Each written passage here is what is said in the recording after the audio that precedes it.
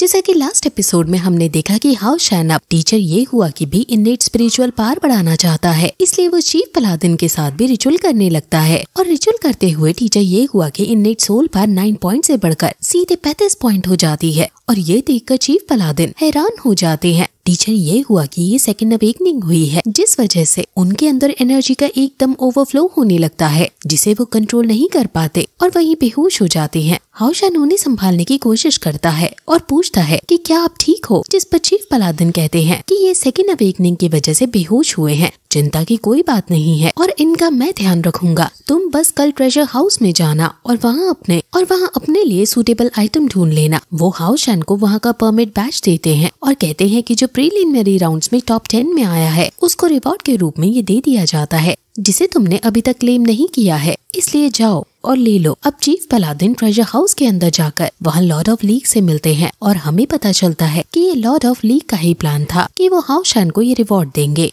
उनका हाउशन को लेकर कुछ और ही प्लान्स हैं और अब तो वो सन ऑफ़ लाइट भी हैं। इसलिए वो ये डिजर्व करता है। अब हाउशन अगले दिन ट्रेजर हाउस की तरफ़ निकल जाता है और वहाँ वो गेट से एंट्री करने ही वाला होता है कि तभी उसे किसी पावरफुल आदमी का और महसूस होता है, जिस पर हाउशन कहते हैं कि हाउशन हूँ और अपने रिवॉर्ड कलेक्ट करने के लिए आया हूँ। और ये मेरा टोकन है। वो पावरफुल आदमी हाउशन पर हमला कर देता है और कहता है कि मुझे तुम्हारे रिवॉर्ड से कोई मतलब नहीं। हाउशन बहुत मुश्किल से उससे बचता है, लेकिन वो आदमी उसका टोकन भी ले लेता है और हाउशन को भी बहुत ज़्यादा प्रेशर में फंसा देता है। इतने ज़्यादा प्रेशर में हाउशन अपने फिंगर्स भी नहीं हिला पा रहा था। वो बुढ़ा आदमी कहता है कि तुम मुझसे बचने की कोशिश कर रहे थे तो अब बचो। हाउशन कहता है कि मुझे आपको ऑफेंड नहीं करना चाहिए था। एल्डर कहता है कि तुम्हारा इस दुनिया में जीवित रहना ही मेरे लिए ऑफेंसिव है। वो अब अपने सभी हथियारों से हाउशन को मारने ही वाला था कि तभी वहाँ लॉर्ड ऑफ़ लीग आकर उसके कंधे पर हाथ रखकर उसे रोक देते हैं और उसके और को खत्म करके कहते हैं कि फिर से तुम यंग जनरेशन को परेशान करने लगे। एल्डर उससे चिढ़कर वहाँ से चला जाता है। हाउशन लॉर्ड ऑफ़ लीग को ग्रीट करता है और वो कहते हैं कि तुम चिंता ना करो। ये हमेशा से ही ऐसा रहा है। तुम मेरे साथ चलो। तुम मुझे ग्रैंड पाई यांग बुला सकते हो। वो दोनों अब अंदर जाते हैं और वहाँ कई सारे खजाने रखे हैं। यहाँ कई सारे वेपन्स हैं जो हज़ारों सालों से यहाँ रखे हैं और ये सभी अलायंसेस के लिए हैं। ये वेपन्स वेट कर रहे हैं कि कौन इनकी स्ट्रेंथ को मैच करने वाला इनके पास आए। हाउशन की स्वॉर्ड टूट गई थी, इसलिए उसे स्वॉर्ड की बहुत ज़रूरत थी और उसे अब बेस्ट स्वॉर्ड अपने लिए चुननी थी।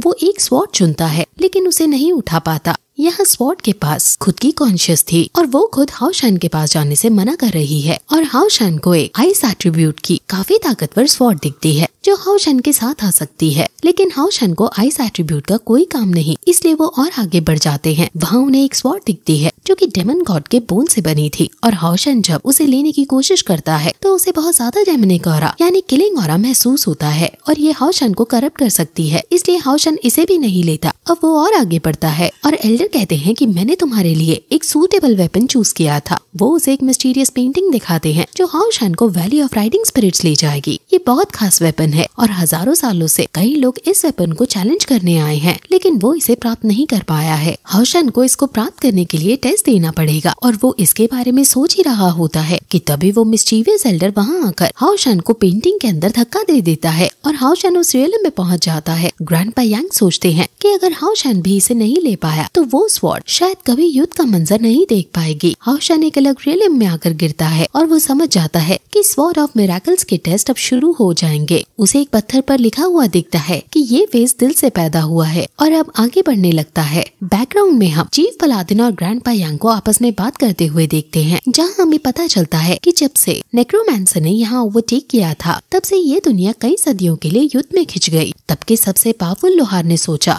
कि वो दो सबसे ताकतवर स्वॉर्ड को आपस में मर्ज करके तलवार बनाएगा, ताकि ह्यूमैनिटी फिर से ओवरटेक कर सके और उसे जब ज़रूरत पड़ी तो अपने खून को भी इसमें लगा दिया और फिर फाइनली तलवार बनकर रेडी हो गई। इस स्वॉर्ड के पास अपनी दो स्पिरिट्स लाइट और वाटर है, जो इसे एक स्पिरिचुअल वेपन बनाती है, इसलिए इसका नाम स्वॉर्ड ऑफ़ मेराकल है। हालाँकि कोई भी इसके दोनों स्पिरिट्स को यूज़ नहीं कर सकता है, जिसने ये स्वॉर्ड बनाई थी, वो भी नहीं कर पाया था। डेमंस को भी इस स्वॉर्ड के बारे में जब पता चला तो उन्होंने ये लेनी चाहिए, इसलिए इलेवन रॉयल फैमिली ने इसे वैली ऑफ़ राइडिंग स्पिरिट्स में सील कर दिया और वो सही पर्सन का वेट करने लगे। कोई नहीं जानता कि ये स्पॉट कितनी पावरफुल है। ग्रैंड यांग ने बस इतना ही सुना है कि जैसे जैसे इसका मास्टर ग्रो करता है वैसे वैसे ये स्वॉट भी ताकतवर होती है। यानी इसके अंदर ग्रोथ एट्रीब्यूट है। हाउशन अब उस जगह है और वहाँ कई सारे पत्थर की तलवार जो ज़मीन में गड़ी हुई हैं, वो हिलने लगती है और हाउशन किसी एक तलवार को और हाउशन किसी एक तलवार के ऊपर चढ़ जाता है और वो सभी स्वॉट लाइट की तरफ़ जाने लगती हैं। हाउशन समझ आता है कि ये कोई ज़रूर एक की है इस गेम को क्रैक करने की। वो तलवार पर उछलता हुआ सबसे आगे वाली तलवार पर जाने लगता है। हाउशन लाइट को चेज कर रहा है और वो कैसे न कैसे करके, कई मुश्किलों का सामना करके, कई मुश्किलों का सामना करके आगे बढ़ रहा है और फाइनली वो लाइट को प्राप्त कर लेता है और जैसे ही लाइट के अंदर के टोकन को प्राप्त करता है, वो एक जगह और टेलीपोर्ट कर दिया जाता है। उसे स्टार के रूप में एक टोकन मिला है। वो हवा में किसी जगह पर एक कूल अरीना में खड़ा है और वो समझ आता है कि ये सेकंड टेस्ट है। वो आगे बढ़ता है और स्टार की शेप में एक लॉक को देखता है और अपनी टोकन को वहाँ इंसर्ट कर देता है वो जगह ग्लो कर जाती है और एक डोर को छोड़कर हर जगह से लाइट निकलने लगती है।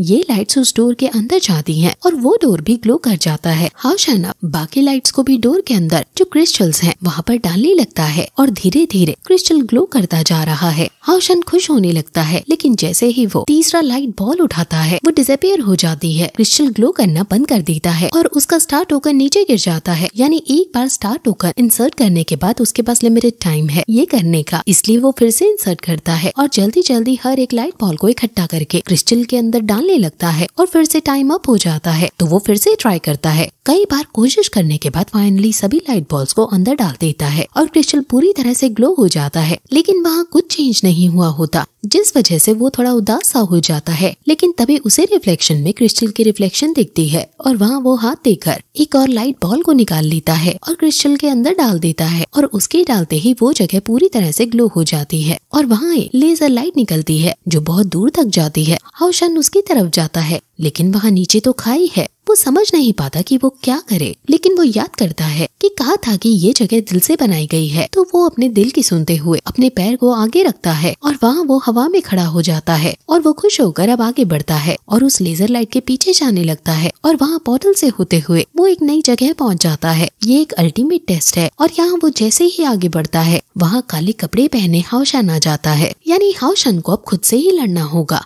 डाक हाउशन तलवार लेकर हाउशन पर हमला कर देता है और हाउशन भी वहाँ बड़ी तलवार यूज़ करके उससे डिफेंस करता है और फिर ये एपिसोड यहीं खत्म हो जाता है।